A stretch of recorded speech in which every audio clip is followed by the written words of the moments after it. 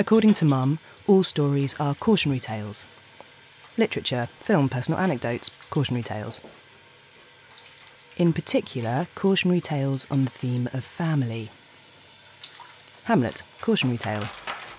Don't rush to remarry. Die Hard 2, cautionary tale. Raise your children right.